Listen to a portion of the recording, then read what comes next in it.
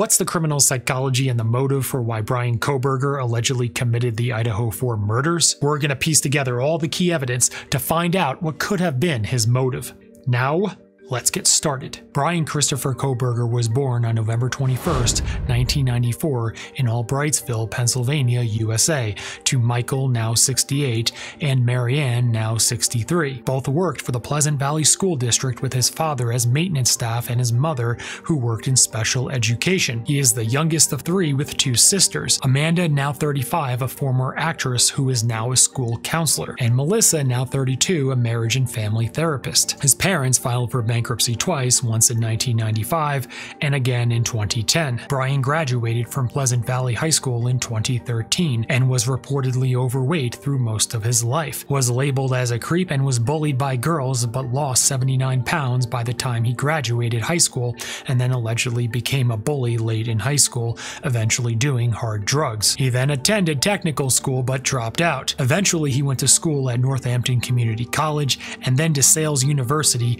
getting a bachelor's in psychology and a master's in criminal justice. During that time, he studied under famous crime author and professor Katherine Ramsland, where he studied the BTK serial killer intensely. After graduating from DeSales in 2022, he became a PhD student that fall at Washington State University, just seven miles down the road from the University of Idaho, where the murders would sadly take place. Of the notable things, he's an extremely strict vegan, never married, no love interests have come forward, he wanted to become an Army Ranger in high school, was kicked out of a local bar for asking women if they lived alone, reportedly thought he was smarter than everyone else, posted this Reddit survey asking criminals what seemed to be vicarious and preparatory questions, and had no prior criminal record. A major question that we need answered that will help us understand the motive is how did Bryan know the victims? Bryan did not just randomly stumble upon their house the night of the crimes and haphazardly commit the crimes. We know this because police have his cell phone pinging at or near their house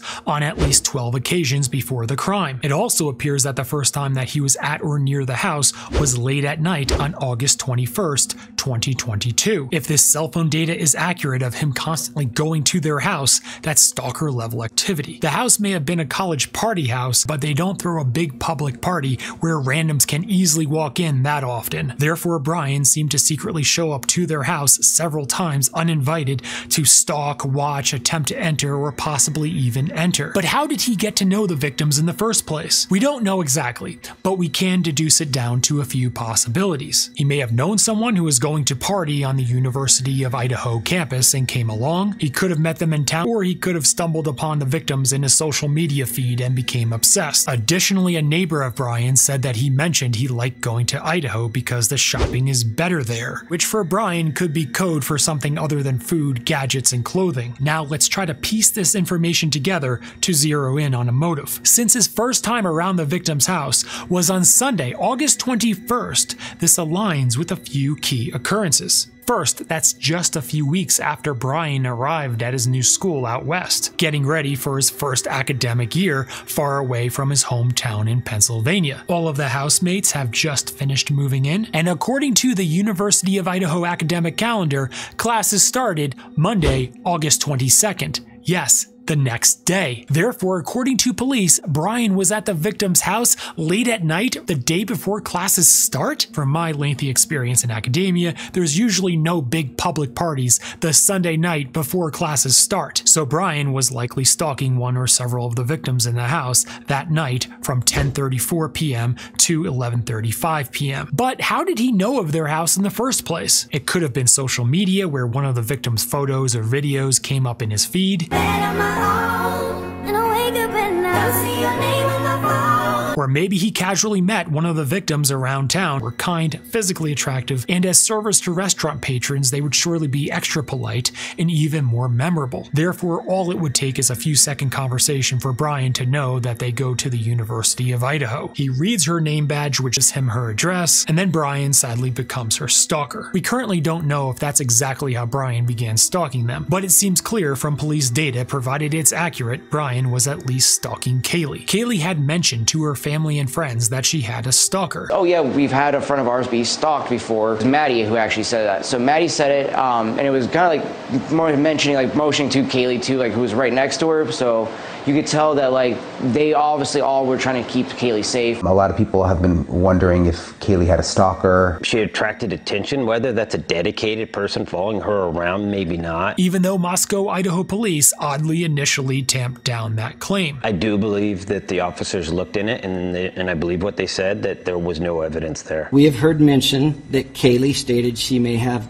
had a stalker. Detectives have been looking into that and to this point have been unable to corroborate the statement, although we continue to seek information and tips regarding that report. The motive for the murders appears to be stalking. I get that it's very difficult to understand why stalkers sometimes murder, because it seems counterintuitive. Why would someone murder someone who they're obsessed with? First, not all stalkers murder, because there's different motives for stalking. The criminal psychology of a stalker murderer is many times because their jealousy is so gripping and they know they can never have that person, they want to make sure that no one can have them. Bryan possibly met Kaylee in person and found that she's someone he's attracted to, he apparently began stalking her, became increasingly more obsessed with her, possibly even attending the big parties at their house, possibly made a move and was turned down, continued to stalk in person and virtually on social media, continued to obsess to a point where his jealousy was out of control. Since he studied criminology and criminal justice combined with his hubris that he was smarter than everyone else,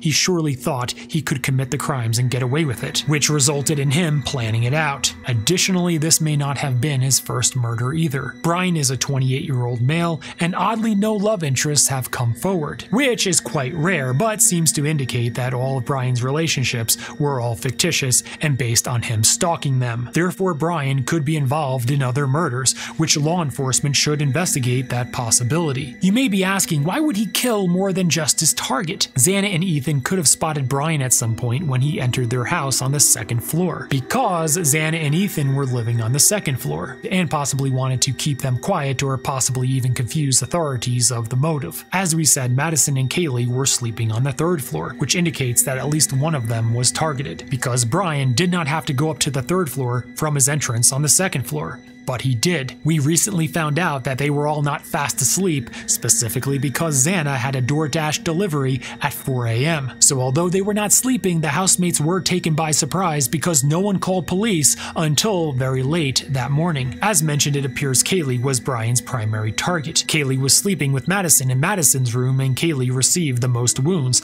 psychologically indicating likely rage against her. It would make more sense for there to be more wounds on Madison in Madison's room if Madison was the primary target. However, since there were many more wounds on Kaylee in Madison's room, this indicates that he was possibly looking for Kaylee. Additionally, when the murders occurred on November 13th, Kaylee just broke up with her long-term boyfriend Jack, which Bryan surely saw Kaylee announce on social media. Therefore, Bryan knew that Kaylee was not occupying a bed with a man that would possibly try to fend off Bryan. So for Bryan, it was the perfect time to finally strike when he knew Kaylee suddenly became a little more vulnerable. After the crimes, Bryan allegedly returned to their house at 9:12 a.m., about 5 hours after the crimes, and was there for 9 minutes. Many believe he wanted to retrieve the knife sheath he left behind in Madison's room. However, we don't know the exact reason he came back. We must remember that at that time the police were not yet called to the house until at least 2 hours later. So he could have at least attempted to retrieve or tamper with the crime scene